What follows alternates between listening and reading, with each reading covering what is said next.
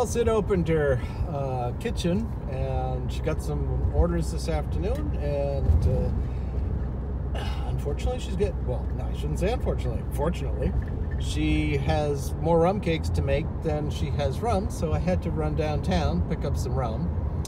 And unfortunately, they only had the little bottles, but I got it.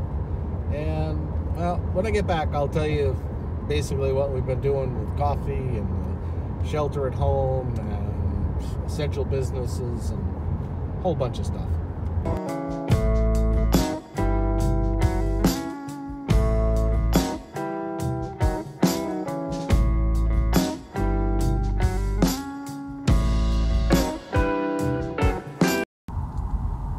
So, depending on where you are and everything else, uh, hopefully you're all doing well. The uh, Vermont has a shelter in place thing, um, and I don't know where you are. Hopefully, you and your family and friends are all well with this sort of unexpected break, spring break, shall we say? I don't know. It's it's one of those things that it's not going to be good one way or the other. Uh, but on the bright side, we will come out on the other side. Uh, and we'll change things. How? I don't know yet.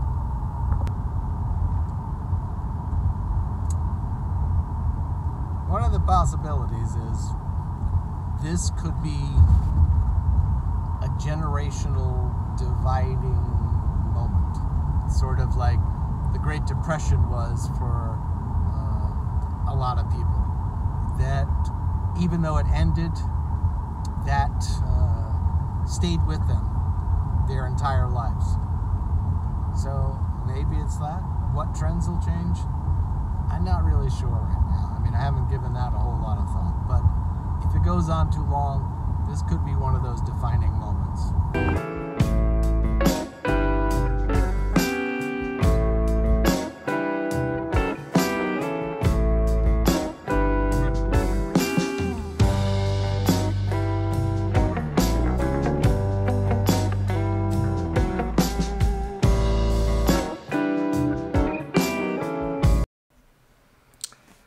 So back home, I got uh, Sid supplies. Um, so she's baking away in the other room.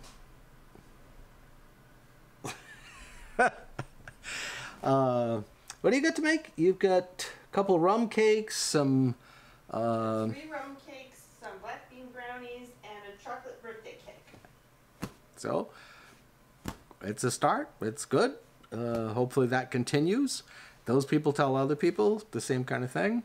Um, oh, just so you know, on the coffee end of things, uh, because you know the times are the times. There's nothing I can do about that.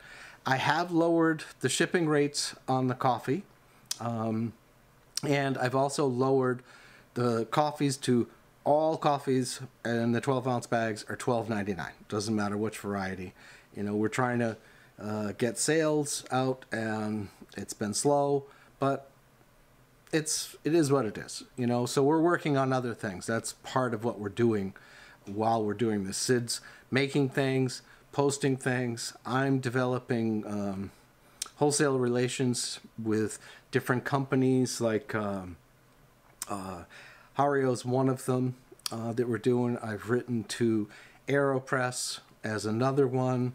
So we're doing different things to try to get set so that when this is all over we'll be in a good position. We won't be trying to scramble. I mean, I had a talk yesterday with a coffee wholesaler in New York. Um, I haven't heard back from him.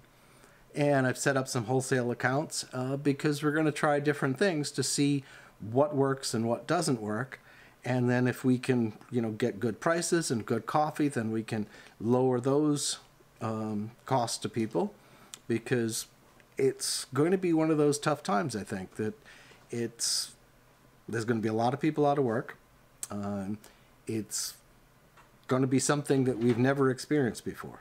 Like I said before, is it going to be a life changing? I don't know. It could be. It depends on how long it goes. I mean, will people's shopping habits start to change because it's been so long since they went to stores that they don't want to anymore? Uh, they get nervous about going to stores, so they'd rather just pay the shipping and have it sent to their house? I don't know. I mean, in our case, Sid can ship certain items, and I can ship the coffees anywhere. You know, if, if it's local, somebody can stop by, pick it up. If it's outside of there, I can ship it to pretty much anywhere in the U.S. So I don't know what will change, but I think there's going to be a lot of adaptation. We'll see how it goes. Um, this is one of those things we're not gonna. I'm not gonna bother getting into. You've seen all the statistics and news and everything else that goes with it. It is what it is, and it's it's unfortunate, um, and hopefully, it's not super devastating. I mean, it's going to be devastating. I get you, grant you that, but you know, hopefully that everybody comes out of it in some way or another better. I mean, maybe uh, communities will be better for it because they've banded together and um, tried to help each other out. Things like that. Maybe that will uh, become a, uh, a plus outcome of this. I mean, unfortunately, there are people who are not going to make it. I mean, that's the reality of it. So we just everybody does what they can do as far as helping other people. I mean, I'm thinking of different things that we can do locally around here. I haven't done any of those because I have to contact those people because just doing something other than monetarily uh, may not be accepted by the people because of the viruses going around. You know, I just met some people. Uh, I had to go get Sid supplies there, and they were like, "So even if you don't have it, you could have it." And I'm like, "Yes, you can technically have it for like a couple weeks, maybe." And you don't know you have it. You feel perfectly fine. You go about your business. Everything's wonderful. But meanwhile, you've been seeing other people. And those other people now have gotten it from you. And now they don't know they've gotten it. So they're talking to other people. And that's how it's it's spreading. Like right now in Vermont, um, it's doubling about every three days. So we don't have a ton of cases, but we've got, I think, 160 cases. So it's, you know, if it keeps doubling every three days, that number is going to get pretty high. They've already canceled school here for the rest of the year. There is no more school. It's all homeschool or online or that kind of thing. Uh, which leads me to believe they're thinking it's going to go on longer than that. You know, there's a lot of people who think it's going to be over mid April. I don't, I'm not one of those people who thinks it's going to be over mid April and everything's going to be honky dory and oh, let's go back to our old ways.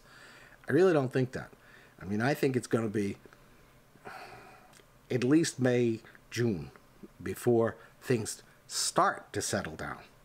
Um, I mean, I guess it doesn't like heat so much, so maybe if it went up to 95 everywhere, or 100, but then people would be keeling over from the heat.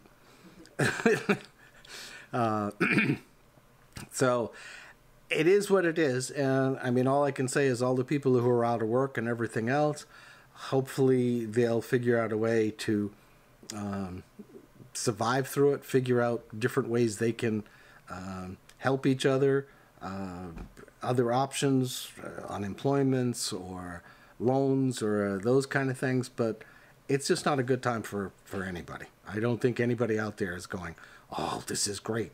Oh, it's wonderful. I get to stay home and do nothing, and I'm I don't have my job anymore. No, I don't think anybody's saying that.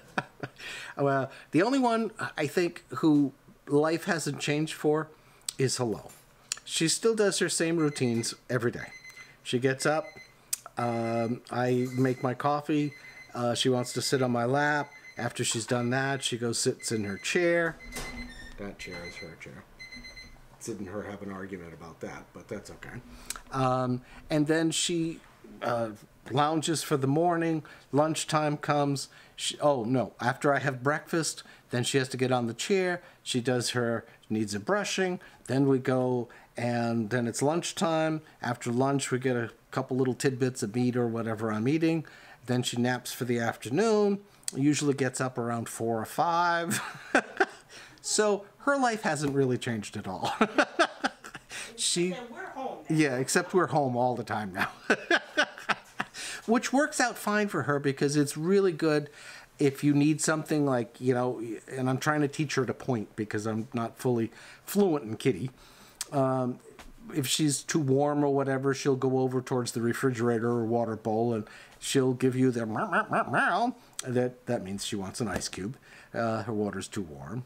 Uh, but you know, there are pluses for us being around. We can do more things for her.